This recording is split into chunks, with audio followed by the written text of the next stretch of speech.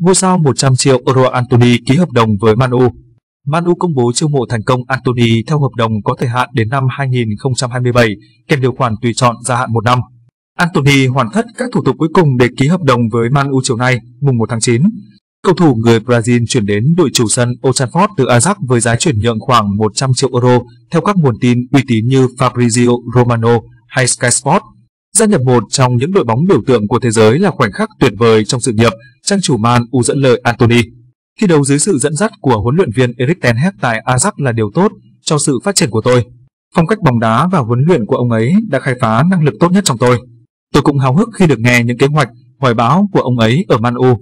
Anthony là một trong những ưu tiên hàng đầu của Man U trong kỳ chuyển nhượng mùa hè 2022. Huấn luyện viên Erik ten Hag muốn đưa cậu học trò cũ ở Ajax sang Man U để tăng cường sức mạnh hàng công. Trước Anthony, Quỷ Đỏ cũng chiêu mộ một cầu thủ khác của Ajax là Lisandro Martinez.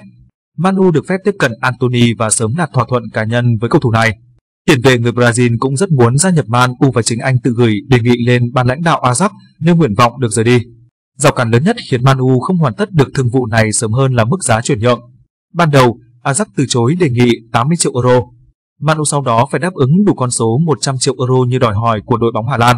Sở trường của Anthony là vị trí tiền vệ biên, tiền đạo cánh. Anh là một cầu thủ khéo léo, thích phô diễn kỹ thuật cá nhân và được coi là bản sao của Neymar.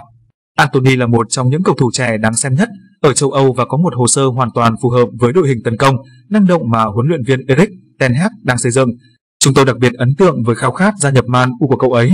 Giám đốc phụ trách bóng đá của Man U John Murtaugh cho biết,